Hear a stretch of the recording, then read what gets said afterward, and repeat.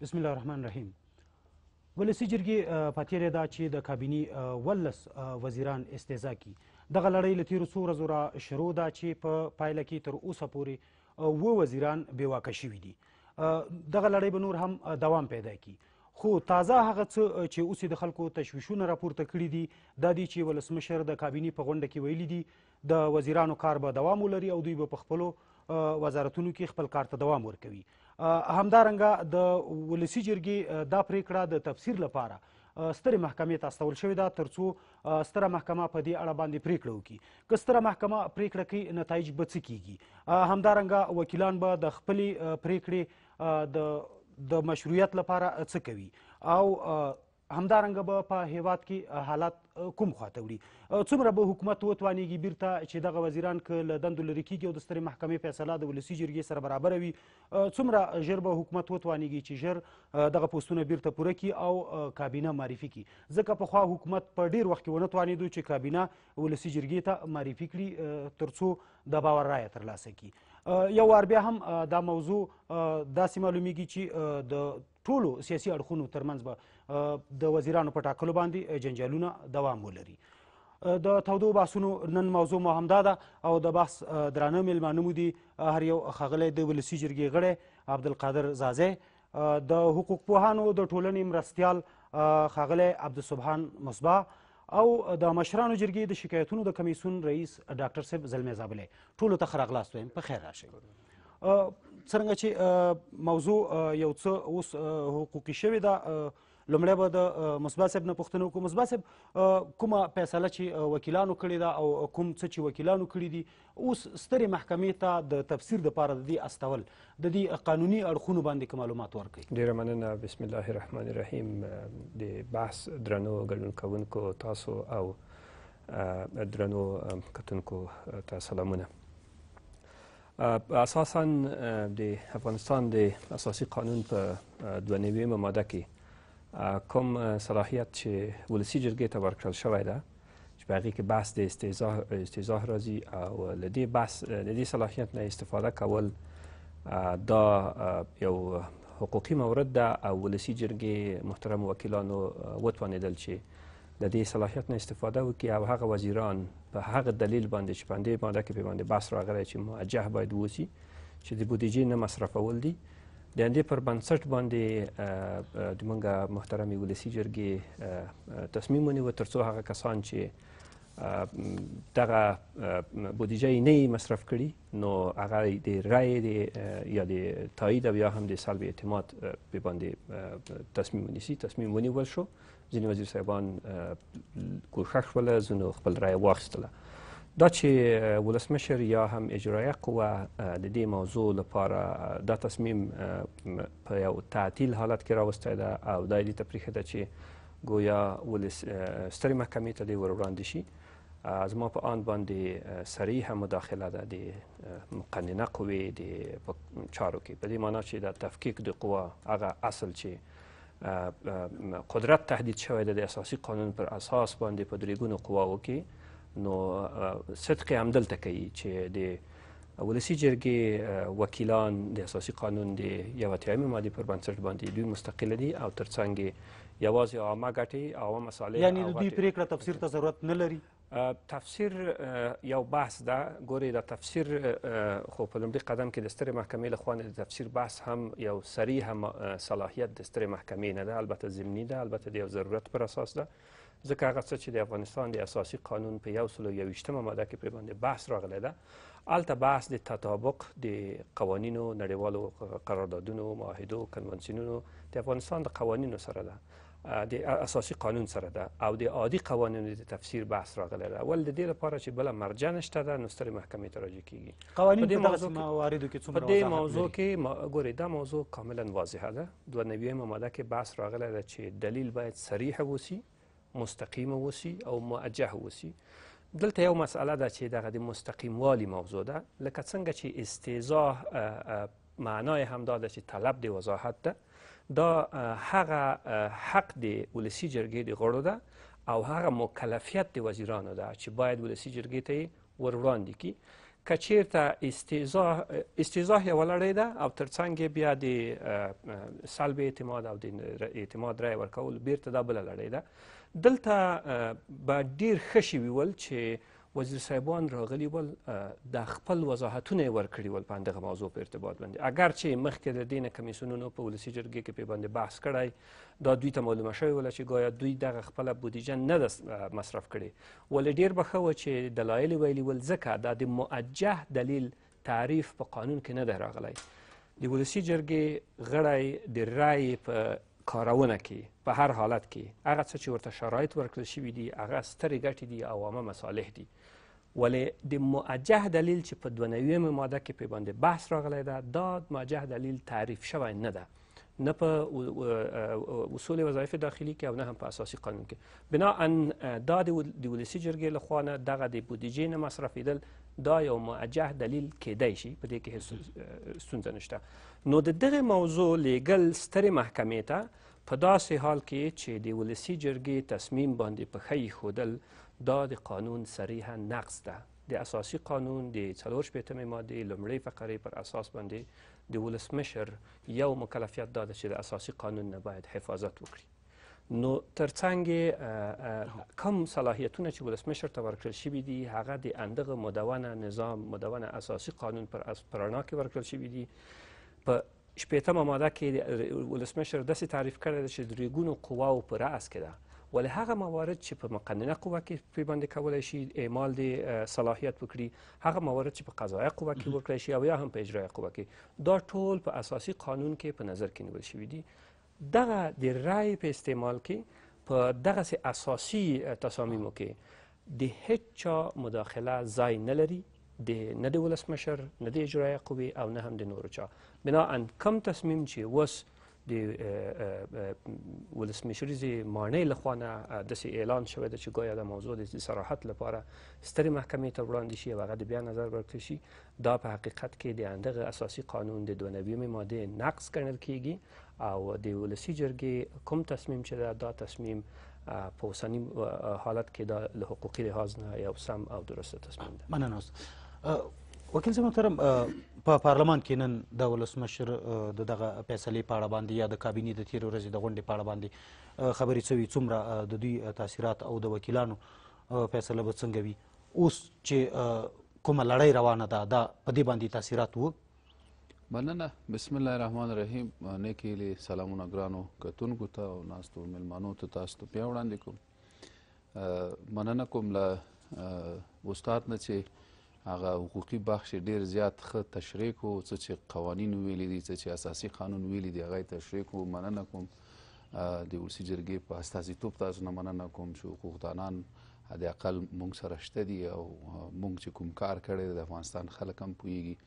او قوانین د نافذه قوانین هم دا وایي د مونږ کار بالکل برحق ده او د قانون مطابق ده دا چې تا سوال ته راشم چې ولسمشر پرون پریکړه کړې په کابینه مجلس کې چې دا موضوع به سترې محکمې ته ځي هغه چې دا قانوني ده یا غیر قانوني ده هغه استاد تشریح کړه دوباره په باس نه کوو مطلق زه د استاد خبرې تاییدوم دا چې په مونږ د مونږ په اذهانو باندې څومره تاثیر کړی یا تاثیر نه ده کړی یا په ولسي جرګه کې د مونږ موقف څنګه ده افغانستان خلکو ته د مونږ موقف معلوم ده دوی ډیر کوشش وکړو چې د موږ د استیزا لړۍ په تعویق واچوي حتی یو بعضې دوستان چې د دوی لږ نږدې او اخواهان ځانونه ګڼي هغوی باندې کوشش وکړو چې موږ باندې امضاګانې راټولې کړي او دا پروسه دا لړۍ ودروي خو خوشبختانه د ولسي جرګې وکیل صاحبانو خپل موقف نه تیر نه شول خپل د کور او د افغانستان د ملت کور عزت یې وساتلو او دا موقف باندې مونږ کلک ودرېدو پرون هم استیزا روانه وه نن هم استیزا روانه ده او سبا چې اخره ورځ ده هغه به هم انشاءالله روانه وي د مونږ په اذهانو او مونږ په موقف باندې د ولسمشر دا رقم غیر قانوني او چې د اساسي قانون خلاف چې هغه ماده استاد تشریح کړي دا رقم کړنې په موږ باندې هیڅ نوع تاثیر نه لري وکیلانو د وزیر صاحبانو کار دوام پیدا کی ولسمشر ویلي چې دوی خپل کار ته دوام ورکړي د ولسی جرګې بل غبرګون به څه وي اول خو مخکې استاد هم ویل د اساسي قانون د تفسیر مرجع ستره محکمه نه ده اوس مونږ یو بل کمیسون هلته لرو چې هغه د اساسي قانون د تفسیر د نظارت یو کمیسون ده چې فکر نکوم ستره محکمې دا وظیفه وي ما چې پرون په تالار کې دوی ته د حقوقي ناپوهانو خطاب وکړو چې تاسو په حقوقو حقوقي بې سوادان او سواد نه لري وجه همدا وه چې دوی ګوره یو مرجع هلته شته ده چې د قانون تفسیر او نظارت تې نه کوي او دی ځي بلې مرجع ته په هر صورت هغې باندې بحث نه کوو دا چې ولسمشر یا د هغه ټیم غواړي چې دا وزیران په خپله دنده پرېږدي او دا وزیران خپل دندې ته ادامه ورکړي پخوانۍ تجربه موږ لرو چې سرپرستان په کلونو پاتې شوي نو هغه وخت کې خو یو وزیر دغسې و یا به دوه به داسې شو په ټوله دوره کې که نه مګر دا خو داسې دي چې اوس که کېدای شي سبا هم دوه درې استیضاح شي نو لسو ته رسېږي که لس وزیران د ده فیصله داسې وي چې دا لس واړه وزیران د خپل کار ته ادامه ورکوي او مونږ یې نه لرې کوو په خپل ځای دي بیا دا معنا ده چې دی د اساسي قانون نه سرغړونه کوي دا دا معنا ده چې بیا دی ډیکټاټورشپ کوي بیا دا معنا ده چې دی دیموکراسي ختموي دا دیارلس کلن څوارلس کلن د مونږ زحمتونه هم چې باسلي د افغانستان ملت وینه تویه کړې ده نړیوالو را سره کومک کړی ده ناستو دوستانو وکیل صاحبانو سناتورانو زحمت باسلی یو نیم بند دیموکراسي هم ساتلې ده په دې وطن کې بیا دا دا معنا چې د دې ټولو د دې ټولو که له منځه ځي یا صدمه ورته رسېږي د دې ټولو هغه پړا به په خپله په همدغه اوسني ټیم باندې بل دا چې زه فکر نه کوم دوی دا کار وکولی شي دو دا کار په دې نه شي کولای چې دې ته بیا د افغانستان خلک هم اجازه نه ورکوي او نړیوال هم اجازه نه ورکوي ځکه د دوی برنامې په بروکسل کې په بروکسل کانفرنس کې او نړیوالو سره د دوی وعدې ژمنې د حکومت ژمنې چې موږ به فساد ختموو موږ به د فساد په ضد کار کوو موږ به تغییرات راولو موږ به دا کوو موږ به دا کوو که چېرته ولسمشر ته موږ دا مشوره ورکوو، ته دا کار وکړې، په موږ به دې زور ورسېږي، ته ولسمشر یې، نن هر څه کولای شې، ته به دا وزیران وساتې، لیکن ته به په نړیوالو کې د بروکسل په کانفرانس کې چې کومې وعدې کړي، ژمنې دې کړي، نړیوالو سره دې کومې ژمنې کړي دي، په هغې کې به ته دروغجن راشې او تاته به ډېر تاوان وکړي. بل لوی مشکل چې ورته جوړیږي هغه دا ده تاسو وګورئ راتلونکې هفته کې موږ ته د افغانستان بودیجه راځي د مشرانو جرګې نه راخلاصیږي راځي موږ ته د افغانستان بودیجه ګوره په قانون اساسي کې مطلق صراحت لري چې د افغانستان د بودیجې وظیفه یا دنده مطلقه د ولسی جرګې دنده ده د هغې تصویب د هغې ردول د هغې زیاتول د هغې کمول په هغې کې ولسمشر هیڅ نوع صلاحیت نه لري که سبا ته مونږ ولسمشر د مونږ دغه قانوني حقوقي پریکړه ونه مني بیا بل ورځ ته بودیجه چې مونږ ته راشي حتی امکان لري وکیل صاحبان داسې پریکړه وکړي چې دغه وزیر صاحبان چې مونږ د دندې نه ګوښه کړي دي مونږ دغو ته بودیجه نور نه ورکوو ځکه چې بودیجه مو چې پروس کال ورکړه څه یې وکړل چا بل کال مو وکړ څه یې وکړل بودیجه خو مونږ دې لپاره ورکړې وه چې د افغانستان خلکو ته خدمت وکړي پروژې ورته راوړي سرکونه ورته جوړ شي خو اوس کړه یوازې مګر موږ نه کولای شول اوس خو یوازې د انکشافي بودیجه زه دا وایم کنه اوس انکشافي بودیجه خو کار خو په انکشافي بودیجه کې ده کنه که سرک جوړیږي که پلچک جوړیږي که پانتون جوړیږي که خوانځي جوړیږي په ماغو بودیجه باندې جوړیږي دا چې په دې ونه توانېدل نو امکان لري چې مونږ ووایو چې ورور مونږ نور دوی وزیران ته بودیجه نه ورکوو که چیرته مونږ دا بودیجه بیا ورنکړه تصویب هم نکړه چې قانون مونږ ته اجازه راکړې ده بیا به ولسمشر څه کوي دا مملکت دی بحران ته بیایي موږ ورته مشوره ورکوو بیا ورته وایو چې تاسو شاوخوا کې چې کوم بې سواده حقوق حقوقدانان چې ځانو ته وایي یا په حقوقو بیخي بلد نه دي یا قوانین یې بیخي لوستلي نه دي اساسي قانون باندې بلد نه دي په اصولي وظایف داخلي په کورنۍ دندې چې دي موږ د هغې باندې بلد نه دي په نورو قوانینو بلد نه دي تا بې راهې ته بيايي، تا ته غلطې مشورې درکوي، ته ما ته دلته په بله هفته کې بوديجه رالېږې، بله بله هفته کې به ته مجبور يې ما ته درې قاضيان راولېږې د سترې محکمې، په سترې محکمې هم غږ کوم، سترې محکمې ته وايم چې اول خو ته دې دې پرېکړې نه ډډه وکړه او ووايه چې دا د ما وظيفه نه ده او که بيا ته ډډه نه کوې ته اوس خپله درې قاضيان چې دي يعني سر د اوس نه د يوه شخړې امکانات شته دي، د يوه جنجال امکانات شته دي. د سترې محکمې چا نه غړي چې دي دا نه غړي هم د اوس درې نشته او ولسمشر مجبور دا نه درې غړي مونږ ته راولېږي د اعتماد رأی لپاره که یو یا دوه مریضیږي نو هلته نصاب نصاب نه او په ستره محکمه کې پریکړې نه کیږي چې پریکړې ونه شي بیا راځو دغه درې کسانو ته د درې کسانو په چا څوک برای ورکوي دې مسلې ته راځو زاویل سه محترم کوم ادرس ته چې د پریکړې لپاره دغه مسله لیږل کیږي ستره محکمه وکیل صاحب وویل چې په اساسي قانون د نظارت کمیسون دی کوم ادرس دی بل ادرس شته که همدغه پریکړه د قانون سره برابره ده کومه چې پارلمان کړې ولسی جرګې کړې ده بلې پریکړې ته ضرورت شته که بلې پریکړې ته ضرورت وي ادرس کوم دی ډېر شکر تر اوسه د مخه زموږ ګران ورور زما زما شخصي انډیوال دواړه مې ملګري دي جناب مصباح صاحب جناب عزیز صاحب تاسو ټولو لیدونکو ته جناب محترم د رئیس صاحب جمهور کوم نقض قانون موږ راواخو کوم فساد اداري یاد کو کاش کې د رئیس جمهور وخت ما سره کښینی زه د مخامخ د فساد اداري چې شخصا د په قلم سوي دی هغه ورته ورته یاد کوم اوس راځي د یو داسې نهاد چې هغه ولسي جرګه ده په ولسي جرګه کې ښه خلک هم شته په ولسي جرګه کې خاین هم شته په ولسي جرګه کې د البته یوازې ولسي جرګه نه په مجموع کې پارلمان درته دی هم په مشران جرګه کې هم په ولسي جرګه کې واحده کلمه پارلمان دی څو بد پکښې کې دي اوس دا فیصله سوې ده ټول ملت تقریبا د دې د دې استقبال کړی کم نقص هم نه دی په دې کې سوی در مخه د د ماجه دلیل راغی چې ماجه دلیل په قانون اساسي کې تعریف شوی نه دی مشخص رښتیا هم لکه څنګه چې جناب مصطفی صاحب ویل ولې موږ ته یو شی د قانون اساسي څخه استنباط کولی شو چې د هر وزیر وظیفه مکلفیت صلات معلوم دی وخت دی خپل خپل مکلفیتونه د قانون اساسي یا د خپل دغه وزارت مربوطه لاهي وظایف مطابق خپل وظایف او مکلفتونه مکلفات اجرا نه کوي دا په خپل ماجه دلیل کېدلی شي موږ تاسو وینو چې په اکثره وزیران کې دا اوس فعلا عدم اعتماد رایه سلب سلب شوي دي اعتماد رایه ځینې اخته شوې ده په دغو کې تو خدای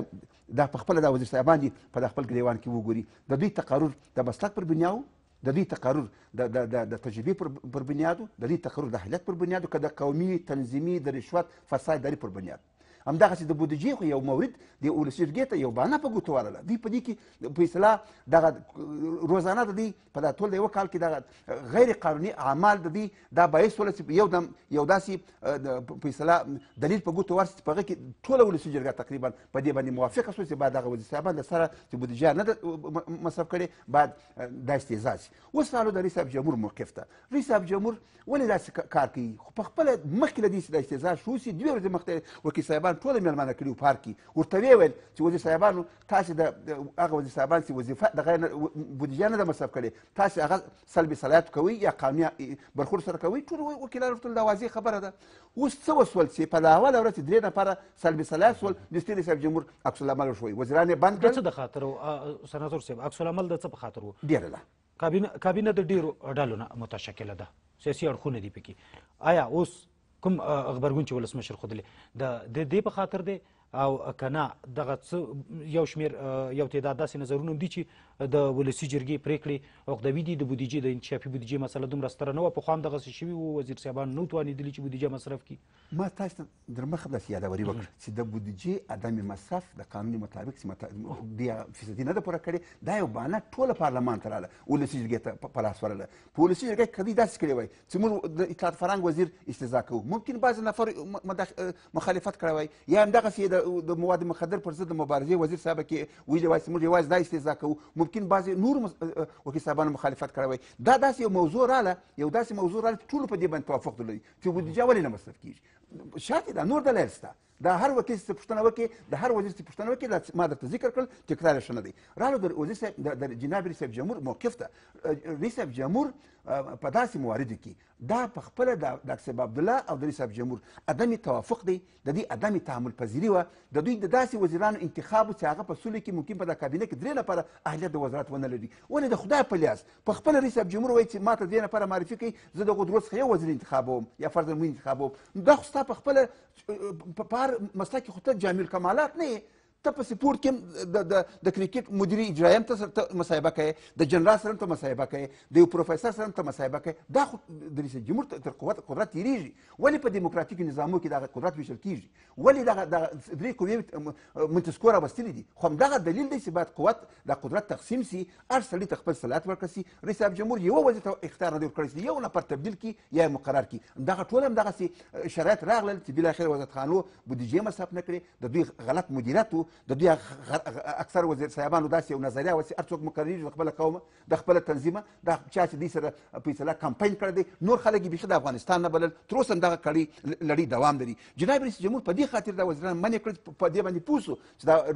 هغه نفر چې نسبي کار یې کړی دی یا نسبت د فعلي وضعیت ته نور وزیر صاحبان ته یو فیصدي ښه کار کړی هغه رای اخلي موږ تاسو وینو اکثر څو وزیر صاحبانو ادي رای واخیستې د شهرسازۍ وزیر صاحب واخیستې د مالیې وزیر صاحب واخیستې همدغسې یو بل د مخدره مواد پر ضد مبارزې وزیر صاحبه ده اګر چې ډېره ضعیفه ده خو بیا خور ده ښه داسې واخیستل چې خور هم په دا کابینه کې خو موجود دي اوس که داسې به اصطلاح یو یو یو یو یو حالت رئیس جمهور ایجادوي چې یو یو ډیر بې کفایته سترې محکمې رئیس موږ تاسو لرو هغه ته کې داسې ویلي چې دا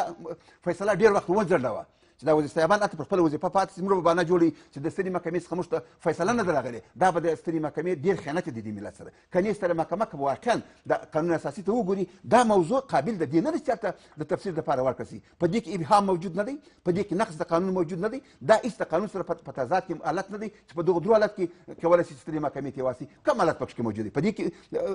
بودیجه مصرف شوې نه ده په دې کې څه ابهام موجود دی په دې وزارت قانون کې د وزیر صاحبان اکثره تحصیلات کړي دي ولې پر کور یې ډیپلوم ورکړی دی درایت نه لري مدیریت نه لري رهبریت نه لري د تنظیمي افکارو څخه ځان نشي خلاصولی ملي فکرونه اکثره نه لري نو نور څه ماجد دوی غواړي دا خپل د سترې محکمې باید دا خپل استقلالیت ثابت کړی وای څنګه جناب رئیس جمهور دا مکتوب لېږلی وای دوی به مطبوعاتي کنفرانس ورکړی وای ملت یې خطاب کړی وای چې ماته رئیس جمهور راواستول د تفسیر دا موضوع د تفسیر وړ نه ده مسله سناتور صاحب د غیاب ده چې د وزیر صاحبانو په غیاب کې دغه پرېکړې شوې دي دوی رانغله دوی وضاحت ورنکړو دغه مسله څنګه کېدای شي تاسو ګورئ دا وزیر صاحبان امیر لکه څنګه چې د دوه قوو په راس کې دی صاحب جمهور دی همدغسې د معدولان دي هغه بېچارګان ټول نهله خلک دي په دغو کې دوه درې وزنه که اهلیت ولري دا نور خو دغسې د کوڅې د بازار خلک دي کم وزیر ته ما ته راوښه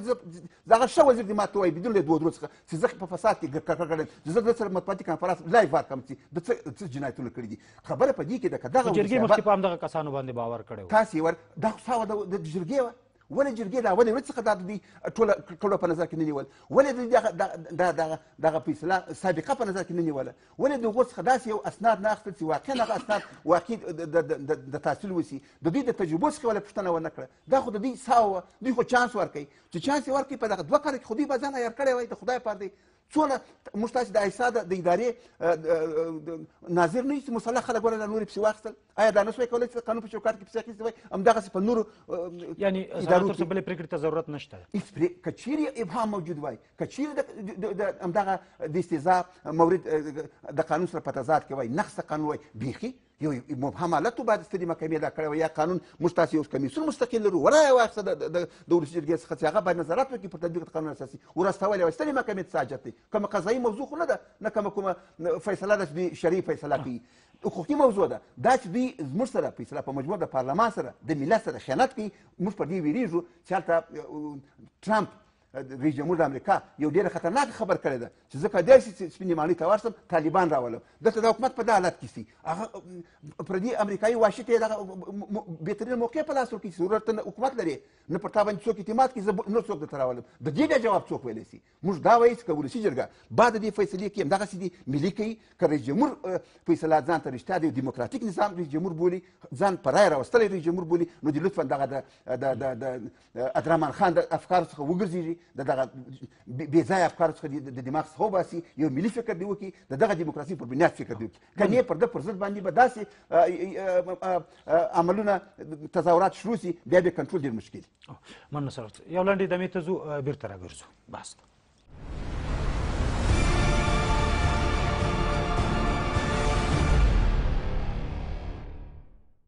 بیا هم ښه راغلاست مثبت صاحب تر اوسه پورې سترې محکمې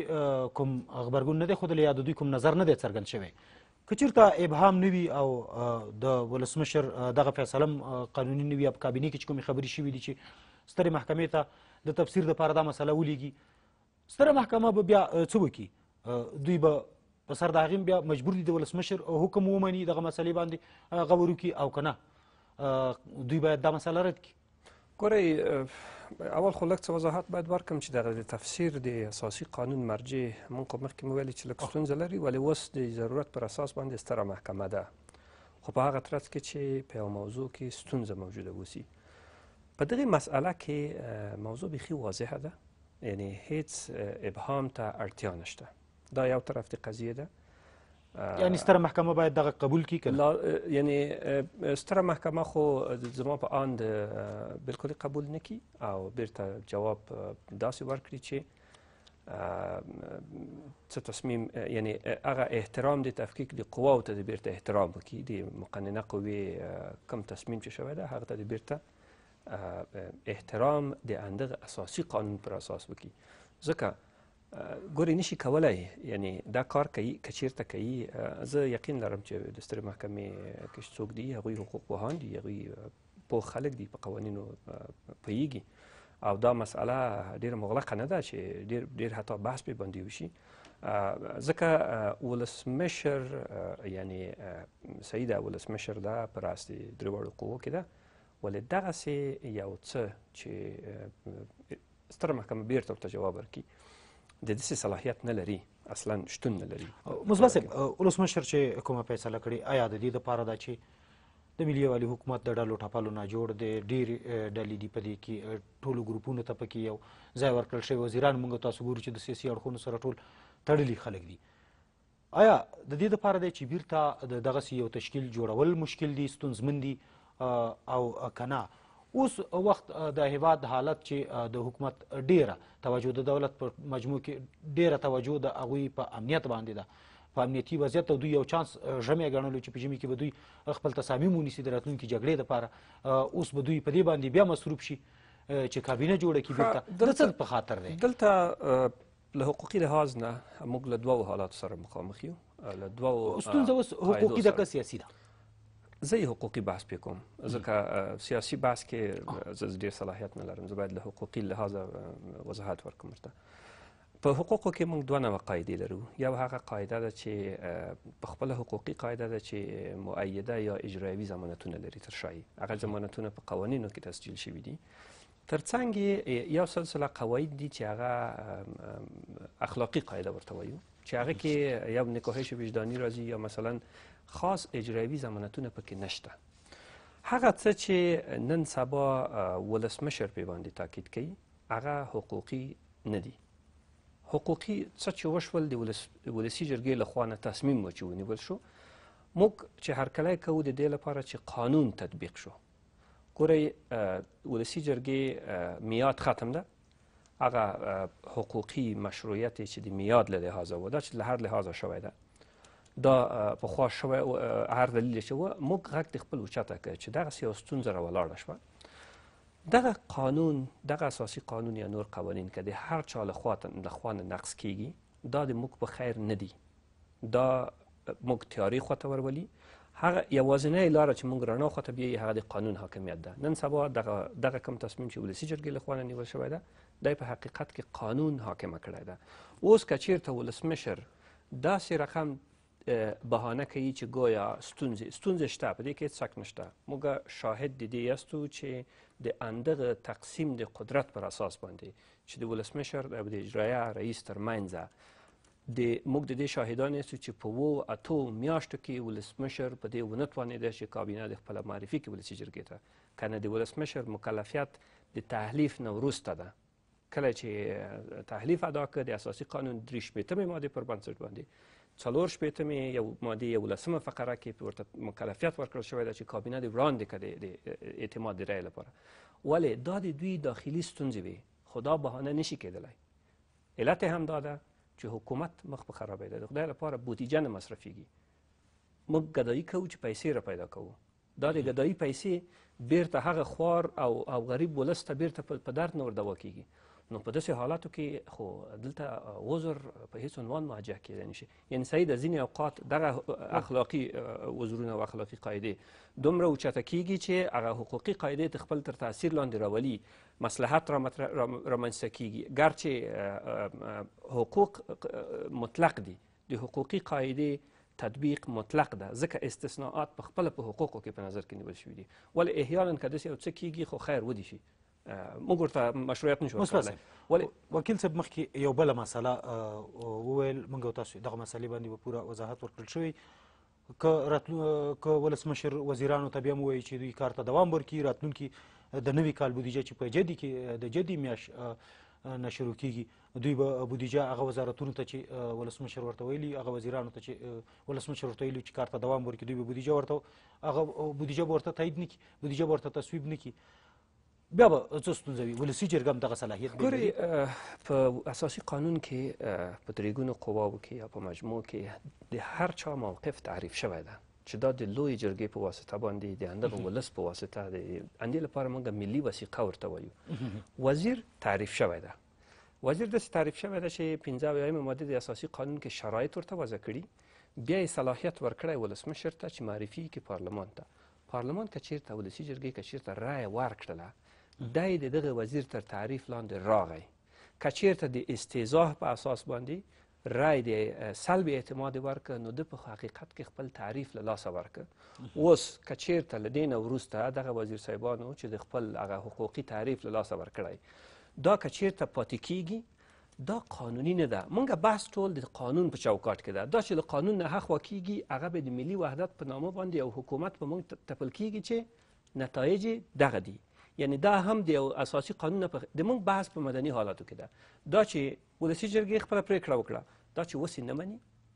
دا د دوی خو ضرر دې ته ده چې مونږ ولسواکي د تمثیل په مرحله کې استو هغه ولسواکي چې په اساسي قانون کې تسجیل شوې ده د دغه دغه لړۍ ته د موږ ډېر اندېښنه هم دي ته ده چې دا د لړۍ ته بیل هغه هم تاوان رسولی وو او تر دې دغه فیصلې ستونزې رامنځته کوي همیشه اوس څه وایي چې ستونزې به وي په دغه اوس که وزیران بیرته په دندو پاتې کیږي ستونزې به زیاتې کیږي ښه د قانون د نقض نه غټه ستونزه بل هیڅ شته نه ځکه تر موږ لپاره تر ټولو ستونزمنه موضوع همدا ده چې قانون نقض کیږي نو البته کم تصامیم چې د ولسی جرګې په واسطه نیول شوي دي دا خو واضح دي چې د هغه مواجهه دلایلو په اساس باندې چې گویا دوی خپل بودیجه نه مصرف کړي یعنی دا بې کفایتي ښیي نو که چیرته تر دې ترڅنګ هم بیا پاتې شي نو دا خو دا وکیل صاحب تاسو په همدغه وزیر صاحبانو باندې کم وخت کیږي چې باور کړی وو هغه وخت معیارونه څومره په پام کې نیول شو معیارونه نه نیول شوي په پام کې هغه وخت هم همدغه ګوندي او سیاسي مسایل هم ډېر مطرح وو او جرګې پې باور کړی وو آیا په همدغسې مبهم حالت کې تاسو تاسو ته دغه خلک معلوم نه وو پېژندل مو نه څنګه مو په باور وکړ ډیر ښه یو سوال ته د اشاره وکړه او د دې سوال سره د ماته ډېرې ښې خبرې را په یاد کړې سناتور صاحب شاید ده استاد هم شاید مطبوعات او ارشیف هر څه شته دي کله چې لومړی ځل ولسمشر چې راغی خپله لومړی کابینه یې موږ ته معرفي کړه نو ډیری وزیر صاحبان دوګونی تابعیت لرلو چې په یادو میزره وته میدان ته او د کمیسون د مونږ ټول غړي او اتو نه تر دولس وزیران مونږ د دې لپاره چې دوګونه تابعیت لرلو هغه هیڅ معلوم نه هغه مونږ د ونه منل ورسره او یو څلور یا پنځو رای واخسته نو ټوله کابینه رد شو په لغې نه جنجالونه چې زیات شول د دواو رهبران چې ځانو ته وایي د ما رهبران نه دي د دوو ترمنځ چې جنجالونه زیات شول د کابینې په سر باندې چې اوس څوک وټاکو څوک باید لاړ شي د پروسې دوام وکړو د سرپرستۍ پروسې دوام وکړو تر ان تر یو کاله پورې تاسې شاهدان یې د افغانستان خلک شاهدان دي بلاخره چې بله کابینه یې موږ ته راوړله راغی خپله او وی ویل چې دغه کابینه ما تاسو ته تا د امتحان لپاره راوستې ده شپږ میاشتې د دوی نه امتحان واخلي او شپږ میاشتې وروسته به زه او تاسې په ګډه یا به د ناکامۍ پارچه ورکوو یا به د کامیابۍ پارچه ورکوو آرشیف راوباسي افغانستان ملت دې ټولې ما خبرې واوري مونږ خو په څنګ کې دا وویل چې ملک په بحران کې ده بودیجه مو په کسر کې ده نړیوال راته متوجه دي که تاسې دې کابینې ته مرایه ورنکې په کمپاینونو کې هم دا خبرې وکړې د دولت وزیر په پارلماني چارو کې د خپله نور ټیم ټول موږ وکیل صاحبانو ته دا رقم ذهنیت راکو چې چیرې دا کابینه هم تاسو قبول نه کې بودیجه کسر کې ده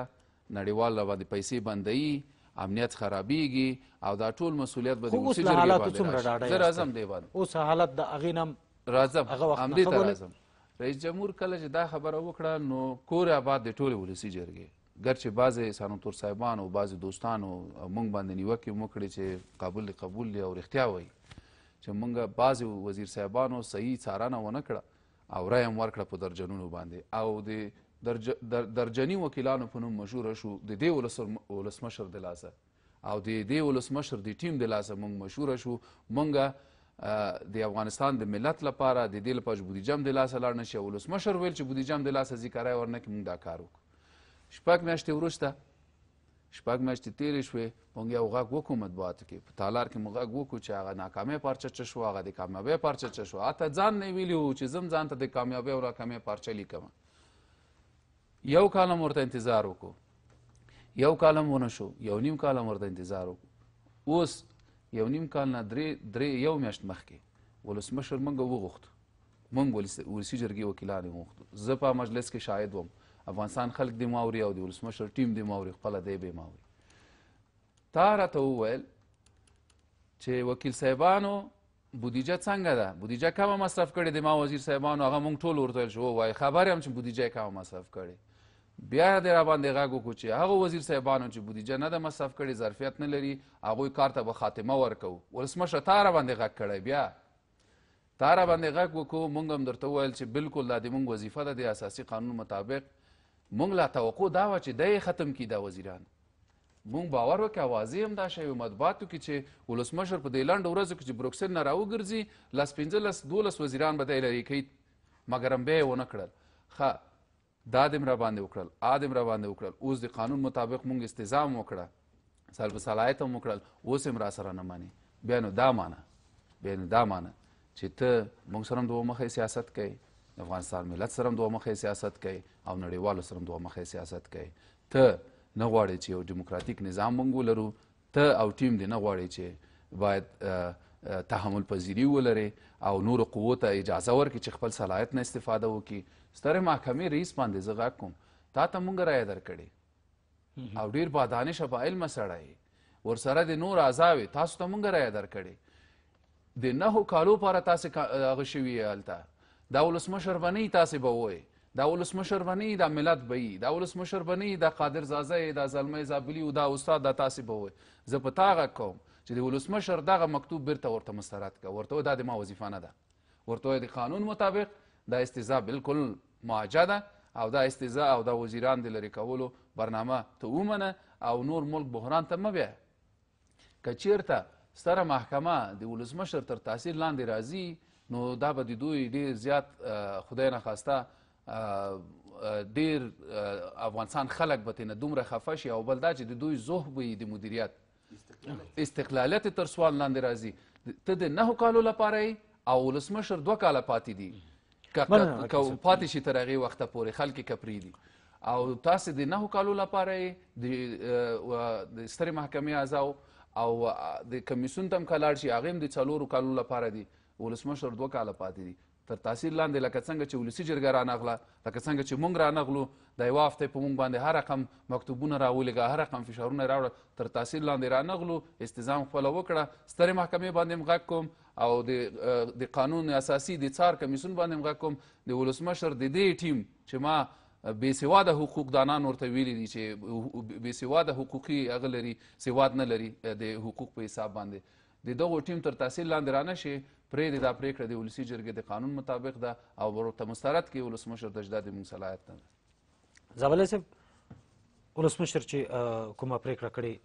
آیا سیاسي پرېکړه ده؟ دغه د دغه کوم سیاسي ډلو او ګوندونو خلک چې لري شو د هغوی فشار دی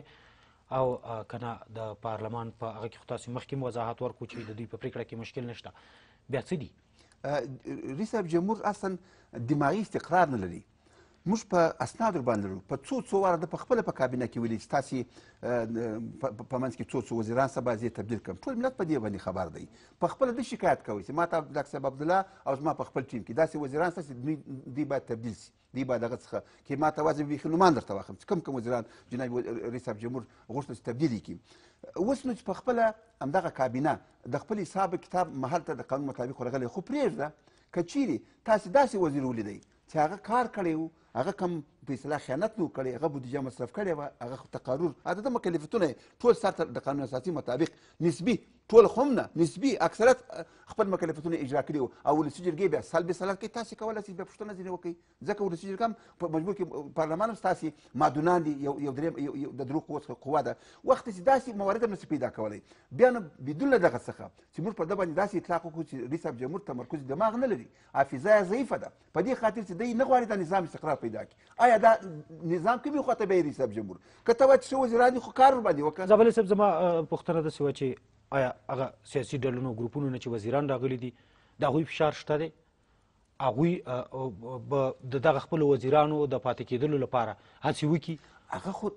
رئیس جمهور په دې باندې مکلف نه دی ته د وزیر څخه کار بد کول دی به بالا دې ته په کابینه کې ساتي ولې درې قوې دي خو د همدغه خاطر نظارت عقل رسوه دی ولسي جرګې ته چې رایه ورکوي رایه به هم ځینې اخلي که چېرې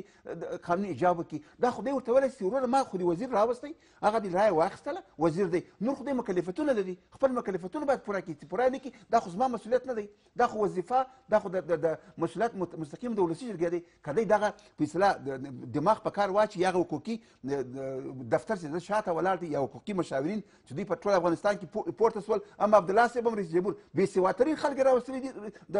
د مشاور په صفت د خدا په لیاس داسې نفر به زه دروښیم په والله په بله کې الف و بې زده مشاورین انتخاب کړي دي په والله کې زده دا د سبب لا تیر هفته کې د زابل نفر راوستلی دی د مشاور په صفت باندې که د ده الف و بې زده زه مسلمان یم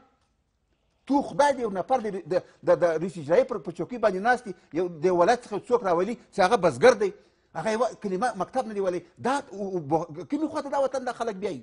زبله صاحب دا خو بحران ته په خپله دی بیایي سناتور صاحب تجربه لرو چې دغه کابینه به بیا دغه په کوم وزیران چې دوی بې واکه شوي د دوی د نوي وزیرانو راتله به بیا هم وخت نیسي دا پروسه به بیا هم ځنډیږي د هیواد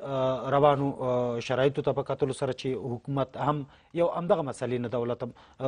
د ارګ نه چې کومې خبرې راوځي هغې نه یو هم همدا ده چې د هیواد اوس ځنی شرایط دغه عمره حساس دي چې کچیرته د ولسمشر او د اجرای رئیس پام دې ته راوړي چې دوی بیا په نو وزیرانو باندې کارو کې بیا دغه ډلو ټپلو دوی ټول په دې باندې سلا کې چې خپل وزیران معرفي کړي هغه وخت او موقع چې اوس د جګړې لپاره یو دغه ژمه یو فرصت دی دوی تصامیم ونیسي دغه به دوی د لاس ور کی او د دې لپاره هم غواړي چې دغه وزیران په خپل ځای پاتې شي ترڅو حکومت د جګړې په تصامیم خپل فکر وکړي یا خپل ډیر فعالیت هغه ته وګرځي تاسو ګوري رئیس صاحب جمهور ډیر وخت په دا په دا مایکرو منیجمنټ باندې تیری په ډیر کوچنی مسایل باندې د جامع مدني پنځه نفر روغړي مکمل ورځ سره تیر کی یو دوه مامورین روغړي دته میډال ورکوه دته شفاخانه ته زی یو ماموریت د پولیسو دا ټول هغه وظایف دي چې رئیس جمهور باید مستقیما په دې کې مداخله ونه کړي د ولسوالۍ په سطح د یو حافظې په سطح یو مامور ته باید یو یو قومندان د ټولۍ باید وایي چې ورسره کار وکړي دا رئیس جمهور په هغه ځان په اصطلاح مصروف کړی دی د رئیس صاحب جمهور د ډاکټر صاحب عبدالله مسؤلیتونه ډېر عالي دي د دولت په اول درجه مدیریت کې دي قرار لري دوی ډېر عادي خبره ده داسې نه ده دغه شخصونه اوس رایه وانخیسته بل هېڅوک نشته په دې وطن کې هغه چا چې دوی سره کمپاین کړی دی په دوی کې د وزیرانو استعداد شته بل په هیچا کې نشته د افغانستان متشکل اوس څومره باور شته چې نوي کسان معرفي کیږي دوی به کینې کې معرفي در وخت درته وایم کینې کې معرفي دا وطن نه د دغو دوه کمپاینرانو دی نه د دوی دغو دوه د بېسوادانو وزیرانو دی سناتور صاحب که نوي کسان معرفي کیږي څومره باور شته دی چې دوی دې وړ کسان وي چې دوی دې وړ کسان وي تاسو یو سوال وکړئ ما پرېږدئ چې هغه تاسو ته جواب درکړم دا اورېدونکي چې اوري دا زما خبرې مکملې کېږي نه ممکن دا بحث ورته بې خسته کن سي اوس لطفا تاسو پوښتنه وکړئ زه به تر اخره جواب درکړم اوس څومره باور شته دی چې وړ کسان دې راشي وړ کسان خو بیخي ډېر دي اوس که دغه وزیران نسته معینان نسته هر وزارت موږ تاسې وینو خو تاثیرات دي د ډالو ټاپه تاسې ګورئ دا تاثیرات که موږ تاسې په نظر کې نیسو دا بنو قانون اساسي داسې تړو اخوا ته بېږدو نو ورته وایم چې راځه زاد رحمان خان یم هېڅ کابینه نه غواړم په خپله ټول کارونه کوم نو موږ به ولاړ شو کورو ته پارلمان ته څه ضرورت شته بیا نو وزیران ته څه ضرورت شته په خپله د رئیس جمهور هر څه چې مقرري کوي هر څه چې په خپله فیصله کوي قاضي دې هم دی قوه اجرایه دې هم دی قوه فیصله قضایه دې هم دی نو بیا د دیموکراتیک نظام نوم نور باندې ږدي نو هم نور شخصیتونه په دې وطن کې شته هم په دا اوس فعلا په دا وزارت خانو کې ډېر ښه معینان موږ تاسو لرو هغه دې دا وظیفې په موقت په غاړه واخلي هغه څه شخصیتونه دې ورته معرفي کړي دا مهمه نه ده حتمي به کمپاین د ډاکټر صاحب عبدالله دپاره کړی حتمي به کمپاین د ډاکټر صاحب اشرف غني دپاره کړی د نورو عذابو څخه دې راوغواړي بېطرفه خلک دې راوغواړي په خارج د افغانستان کې دې خلک راوغواړي په داخل کې په ولایتو کې دې راوغواړي د خدای پر دی یو نفر چې مسکین دی یو نفر چې واسطه نه لري پیسې نه لري استعداد لري ولې هغه نه راغواړي اعلان دې وکړي چې راسي داسې وزارت دی موږ یو یو امتحان اخو رئیس جمهور دې ځینې واخلي دوه سوه نفر بر وزارت ورته راسي بااستعداده خلک به راسي استخدام دې کړي دا یې بافته نه نیسي کې دوی وغواړي او کې نه وغواړي چې وطن بحران ته بالي خپل باداران امریکایان او انګریزان خوشحاله ساتي بیا نو دغه طریقه ده د بحران مخته دې بوځي وخت کم پاتې دی مثبت صاحب په نوو وزیرانو کې کوم نوي کسان راځي کوم هغه شرایط دي چې د دوی لپاره په پام کې ونیول شي کوم معیار دی ښه معیار په اساسي قانون کې تسجیل شوی ده معیار د اساسي قانون په 15 مه ماده کې په مشخصه توګه لنډ وایي چې وکیل صاحب نن ښه په دې کې بحث د عمر ده قید د عمر په نظر کې نیولای ده قید تحصیلات عالی تحصیلات قید تجربه په نظر کې نیولای ده تابعیت مسله په کې مطرح ده دا نیک نام ده او په کوم حکم محکوم په داسې یو جرم باندې جنایت باندې محکوم شوی نه اوسي له مدني حق نه محروم شوی نه اوسي دا هغه شرایط دي چې په افغانستان په اساسي قانون کې په نظر کې ورته نیول شوي دي دا موضوع مخکې له مخکې قانون پیش بیني کړې ده په دې باره کې وکیل صاحب څومره ژمنه ورکول شي څومره به وکیلان بیا چې نوي وزیران راځي دوی به په پام کې ونیسي چې هغه په معیارونو برابر کسان وي څنګه چې سناتور صاحب ویل چې هغه داسې کسان وي چې د کار خلک وي اهل خلک وي د ګوندونو او د ډلو ټپلو د قومونو دا مسایل په پام کې ونه نیول شي اوله مرجع چې څوک کاندید وزیران معرفي کوي هغه مرجع ډیره مهمه ده چې هغه ولسمشر ده هغه لکه څنګه چې د افغانستان ملت سره وعده کړې وه چې زه به داسې وزیران انټرویو کوم او پارلمان ته به یې لېږم د ما وزیران به یې چې د هغوی به ډېر په لوړو تحصیلاتو عالي وو او پاک وو داسې خلک یې خو پرېکړه به اول دوی تاسو ته ته مننه راځي مونږ ته که راشي دا ځلې مونږ به لکه تېر ځل چې ولسمشر ما درته وویل چې مونږ سره یې دوه مخی سیاست وکړو او د دې ټیم چې خیر د دوی ته رایه ورکړي چې ملک بحران ته ځي مونږ به بیا دا رقم خبرو باندې فکر نه کوو د دې اه، تعلیم د تحصیل او د دې نیک شهرت اه، په پام کې نیولو سره به رایه ورکوو زه یو متل مې راپیاد شو د مخکې د زابولي صاحب دا خبرې وکړې غواړم هغه وکړم هغه دلته نه دا متل په هغه خبرې په د هند هند کې دي هندوستان کې دي د هندوستان یو یو څوک وو هر سړی به هر سړي ته به چې څه مشکل پیدا شو هر ځای کې به چې څه کار وو بیا به ده ویل چې مې هونه کنه ونې زه یم کنه نو ولسمشر ته زه دا وایم چې د هر کار کې ته مه وایه چې مې هو نه پرېږده کار کابینه وکړي وکیلان یې وکړي شورا یې وکړي ته مې هو اوس ته په ستره محکمه هم مې هو نه وایې ته په هغه کې په ملي شورا هم مې هو نه وایې او په اجرایي قوه هم همداسې وایې په هر ځای کې ته وایې زه یم که نه نو بیا به داسې وکړو چې د ملي شورا دروازه به هم در وتړو او دا نور هم ټول حکومت ټول دولت به تا ته پرېږدو هماغه کیسه به د هند چې دی به وایي میهونه او بس ټول ټول شان به دی په لاس کې ونیسي مننه ټولو درنو مېلمنو نه مننه کورم آباد درنو لیدونکو باسم همدلته پای ته رسیږي تر بیا د الله پامان